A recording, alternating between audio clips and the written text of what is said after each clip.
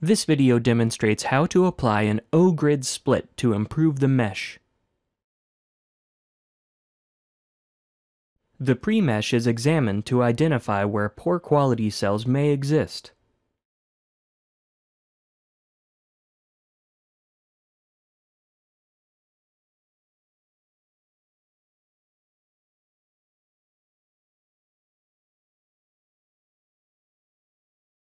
Where vertices of the rectangular block meet the curved surface, highly skewed elements are found.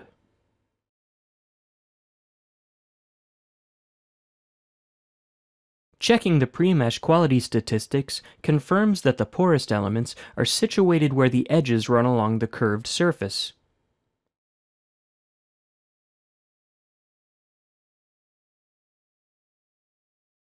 The O-grid is typically applied after using the initial split, delete, associate steps to fit the rectilinear blocking to the geometry.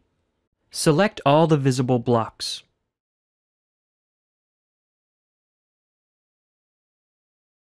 The O-grid is to be formed on topologically curved surfaces. Flat surfaces, where the O-grid is not wanted, are selected for exclusion.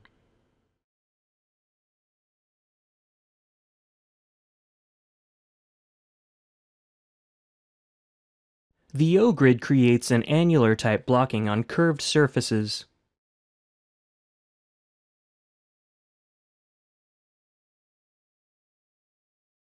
Examine the pre-mesh on the inside of the curved surfaces.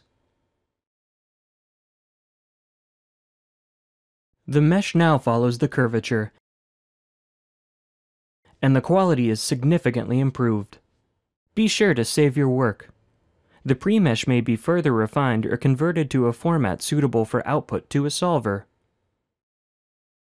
The process is the same on 2D models.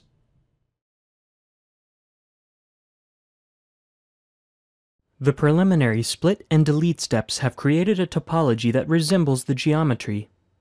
Blocking associations are used to move and fit the blocking to the geometry. Each blocking vertex is associated with its closest point.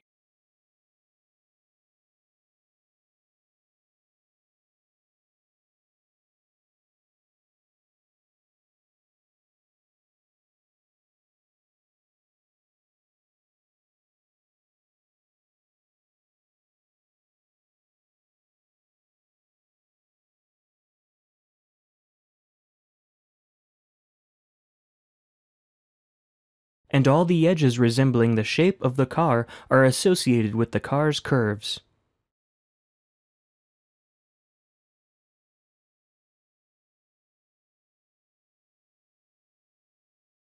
Disable and enable entities in the display tree to be sure that the block structure fits the geometry.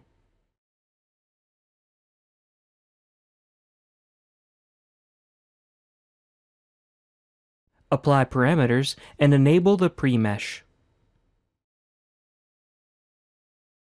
The poorest elements occur where a blocking corner is opened up to fit a curved geometry, resulting in a high skew. Select the O-grid split icon. Deleted blocks from the car's interior are not permanently removed, but are placed in a holding part called VORFN. Select all the blocks in the car's interior and between the car and ground. For 2D, select Edges where the O-grid is not formed. In this case, the three segments on the ground below the car. Check around blocks to force the O-grid split to surround the selected blocks. The O-grid process creates a blocking layer that follows the contour of the associated geometry. Display the pre-mesh to see the boundary layer mesh surrounding the car. Be sure to save your work. This blocking will be improved using the edge parameters in the next tutorial.